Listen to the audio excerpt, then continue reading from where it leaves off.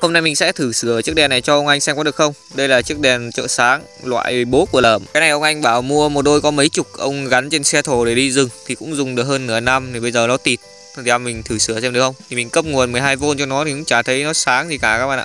Mình sẽ tháo ra nhá. Hai cái điểm này thì không phải là ốc đâu, Người ta làm cho đẹp đấy, Mà ốc nó vặn từ đằng sau này.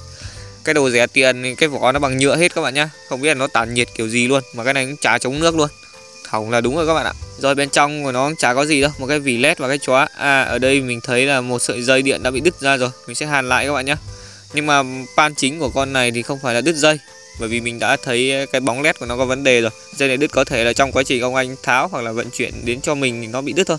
Đấy, mình nối lại dây thì cấp nguồn nó cũng không sáng nhá. Quả pin của mình vẫn còn đầy điện các bạn nhá, nhưng mà cấp vào không sáng này.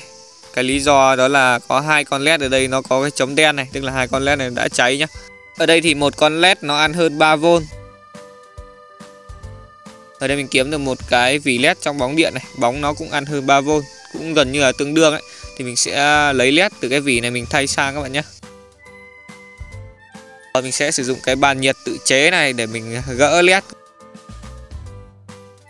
Cái bàn này thì không điều chỉnh được nhiệt độ nên là nếu mà mình cảm giác đủ nhiệt rồi thì mình sẽ nhấc cái vỉ led lên thôi sau đó mình thay thế cái bóng led mình gỡ từ cái vỉ cái sang nhé khi thay thì mình gắn bóng led nó đúng cực là được các bạn ạ. Trước khi thay thì mình kiểm tra và xác định cực cái con led mình à, đem về mình thay vào ấy. Xong xuôi thì mình chỉ việc à, nhấc led lên và thay thế. Như vậy là ok các bạn ạ. Mình đã thay xong nhá nhìn cũng gần như là zin luôn các bạn. Đấy, bây giờ mình cấp nguồn 12V là nó đã sáng hết các bạn nhá. Bây giờ mình sẽ lắp lại thôi và mình xin đính chính là cái này mình sửa tận dụng, Dùng được ngày nào hay ngày ấy nhá. Bởi vì mình thay cái con led từ cái vỉ khác Nên nó không được đồng bộ, Nên chắc chắn tuổi thọ của nó sẽ không cao.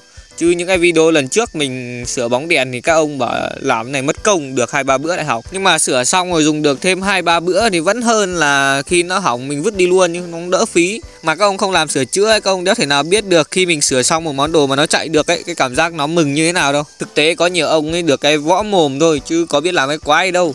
Gáy là giỏi thôi. Mà kiểu mấy con gà hay gáy lính tinh ấy, gáy hay bị đem về cắt tiết lắm ấy.